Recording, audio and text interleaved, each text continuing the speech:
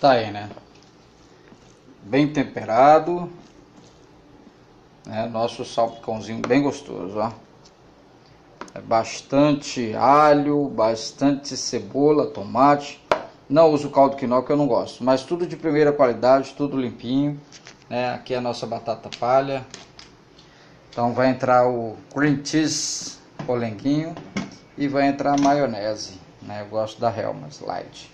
Temos nosso arrozinho aqui prontinho.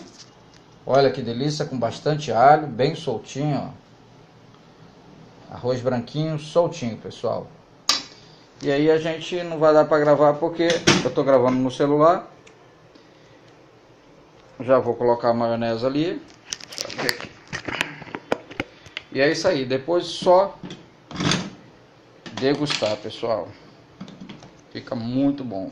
Simples, aqui eu só coloquei o frango, é, cenoura, ervilha, não boto milho, botei repolho e é só, básico, tá? Não botei nem ervilha, é, não botei nem milho e nem azeitona, nem ovo cozido. Só pão simples, mas que fica muito gostoso e bem saboroso.